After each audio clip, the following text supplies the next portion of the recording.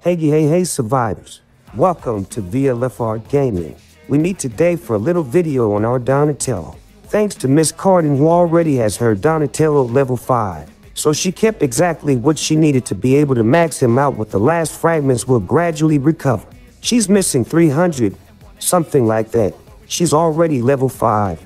She'll get the 300 fragments for free and her Donatello will be maxed out. So we level him up with the lucky wheel that allows us to also unlock the splendor. So let's see a little bit on Donatello, that's why we're here. She sent me the screenshots of her Donatello.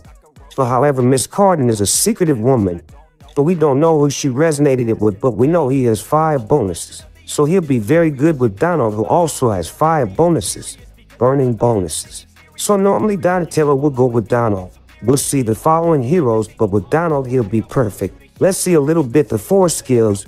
She also maxed out the 4 skills is just magical. So we have Fiery Bash.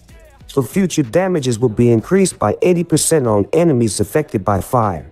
So that's why putting him with Donald is perfect. The damages will be increased by 80%. Donald's damages will be increased by 80% is perfect. After the bird blast, bird damages are increased by 40%. So that you see compared to Michelangelo, this skill is a bit weird. The bird damage We'll have to see what it looks like in the combat reports. See if it's really effective. Anyway, it's increased by 40%. Then we have the third skill, Crippling Precision. Damages are increased by 60% against disarmed or silent enemies. So it's the same they're disarmed and silent troops must be infantry. I think that's it. They don't have weapons. They have a machete. It's not a firearm, so they don't shoot. They don't make noise. I think that's it, but they were really on theory. Let's see later in the reports what it gives. And the main skill, Fire Spin.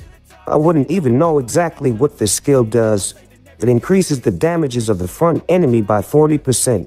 Damage is increased by 60% for 5 damages. It's not easy for me there honestly we'll have to see what it looks like in the reports. It's really complicated. Donatello is not my favorite. After it's easy to know who we're going to put him with because he's the hero with 5 damage. So all the 5 damage heroes they're going to be associated with Donatello. So there we have Donald, he'll go perfectly with Donatello. So there you go, thank you. A big thank you to Carden for all these screenshots. It allows us to see a little bit what it looks like and then we just have to max him out with a wheel. And then take care of the ninja adventure and recover the 300 fragments and then we max him out to the maximum.